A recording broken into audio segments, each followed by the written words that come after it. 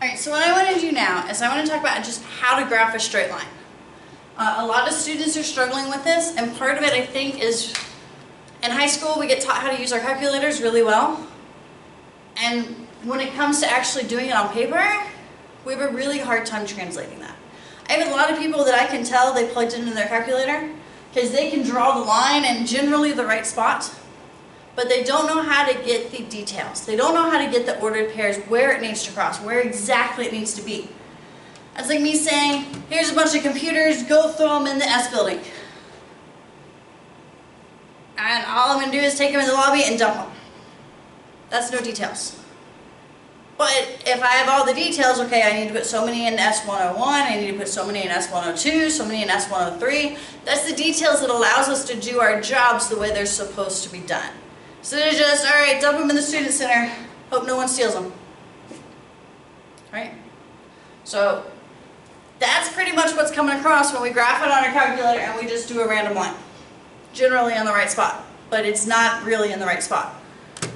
You've got to make sure you get all the ordered pairs. You've got to make sure it's in the right place, it's labeled. We're trying to get y'all to where when you go to the your work, you're detail oriented, you're focusing on what do I need to do, how do I need to get it done correctly as well as efficiently. So when we're looking at this, the first thing you have to do no matter what, even if you're using your calculator, you have to solve for y. So we're going to take it and say minus 3x minus 3x. It's going to give us 5y equals negative 3x plus 10. You could do 10 minus 3x, that doesn't matter. Um, since my videos are mainly targeted towards people going into college algebra or in college algebra, I'm going to try to keep it in the y equals mx plus b format. We are not yet solved for y. I cannot put 5y equals into my calculator.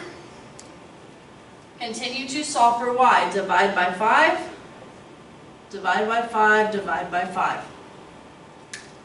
y equals negative 3 fifths x plus 2. Okay, so that's your equation solved for y. Now, once you learn how to graph, you should be able to graph this a whole lot faster by hand than with the calculator. So what we're going to do is I'm going to tell you what this formula is It's y equals mx plus b. As long as y is completely alone. The number that does not have a variable, that's your y-intercept. That's 0, 2. Okay, so we come over here, 0, 2. Okay? The number in front of x, not including, but in front of x, that's your slope m equals negative 3 over 5. I always throw the negative to the top. That tells me whether or not to go up or down. If it's negative, we go down. If it's positive, go up. Always run to the right. So once you get this equation, you're like 2, dot, dot, put your dot. Slope tells you from this dot to go down 3, 1, 2, 3, and right 5. 1, 2, 3, 4, 5. And put your next dot. You know how to make ordered pairs? This is 5 comma negative 1. Connect the dots. It should not take you very long to just make ordered pairs, or to just graph a line. Should be quicker to do it by hand than in your calculator. If you insist on using your calculator, it is a tool we need to know how to use.